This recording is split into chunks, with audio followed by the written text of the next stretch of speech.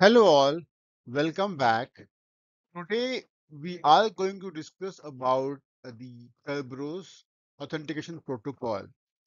So if you are wondering what is the meaning of Kerberos, so it is basically a Greek word uh, which means that a dog with three heads that guards the underworld. But today we are not going to talk about the Greek mythology, but we'll focus on the computer protocol, which help us to protect our systems and authenticate users. So let's see, like, what is Kerberos? So whenever we want to access any system or applications, so we normally use our password.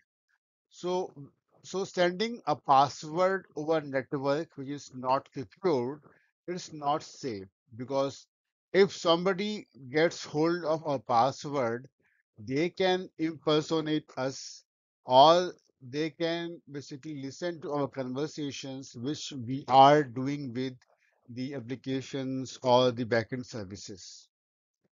To help us protect our systems while using uh, it between users or machines, uh, we use the Kerberos protocol. It is basically an authentication protocol which is used for the client and server applications. So whenever we have a setup like we have a client that can be a user or we have a server that can be a server like maybe a file server or any services.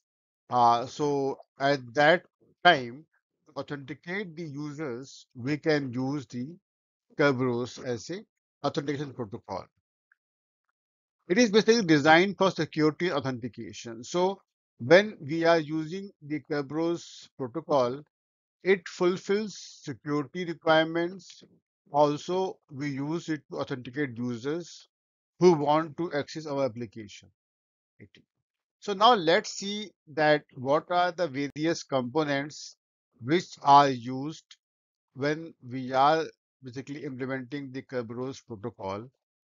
So in this picture, right, you see a client here uh, which want to access the file server So by client, you can assume a user or maybe a machine.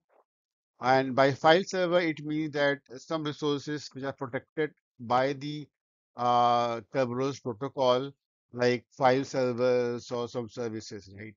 So the heart of uh, Kerberos protocol is the KDC. KDC is also known as the Key Distribution Center which basically has uh, two servers. One is the authentication server, another is the ticket granting server. The authentication server basically authenticate the users, verifies the users whether they are the legitimate users of system or not. Then uh, this TGS ticket granting server basically issues uh, tickets to users to be able to access the file server. Okay. So let us see like the whole flow in a simplified manner uh, in this video. So if required, uh, I can make, I will make a video in which we will have the detailed version of this, uh, this flow, right? So now let's see, uh, like client, uh, client want to access the uh, file server, right? So first step is that it will send its request for authentication uh, to the authentication server. That all you can see yes right? So uh, whatever the message it want to uh, send to the KDC it will basically encrypt it using its password so password it is not going to send as a plain text it will use it as a uh, encryption key now the authentication server will already be configured uh, in its database about user and its password. It will locate the user ID of, of this uh, client and get hold of the password. Then it will decrypt that uh, using that password, the messages which it got from the client. And while after decrypting it, it will validate, okay, that this client is valid or not.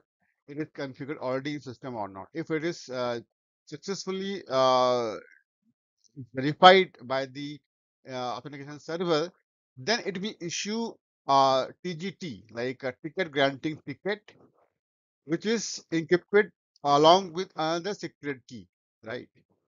Then uh, when uh, this TGT is uh, received by client, client will add couple of more messages and uh, send that uh, along with TGT uh, to the ticket granting server. Okay. After the TGS gets this message, like a couple of messages, messages which client created, and uh, TGT, then a TGS, like ticket granting server, will decrypt uh, that TGT using the shared secret key, which is shared between the authentication server and the ticket granting server. After decrypting it, it will validate those messages and then generate a service ticket or token and will encrypt it with another secret key and send back to the client. Now, once client get that message uh, from TGS, it will decrypt that message and uh, get some symmetry keys information from that and create the authentication message along with a service ticket which it got from TGS server and that it will send to the file server. Now the file server will verify the service or resource which user want to access, whether it is available or not, or user is uh, required to access or not that particular resource. And then it will generate uh, the final authenticator message verify, okay, this client is uh, authenticated. And it will send that final authenticator message back to client. After this, the mutual authentication will complete between the client and file server, and both can start exchanging the messages. And this, uh, now basically, uh, they will share a, a secret key, right? Like a session key, and uh, that will be like a short-lived key. Basically, the uh, at, at a particular time, like they can use it, like a period of time, they can use it that particular key and encrypt uh, the messages which they are going to exchange in future. Then both can basically uh, talk to each other and client can access the file server resources. So this is a very simplified uh, depiction of uh, a whole Kerberos protocol. And uh, the main thing to note here that the the key distribution center is the heart of whole uh, process, and a lot of encryption keys are being exchanged between the client uh, KDC and file server. So I will cover that uh, basically the detailed video in my uh, next part of this particular series.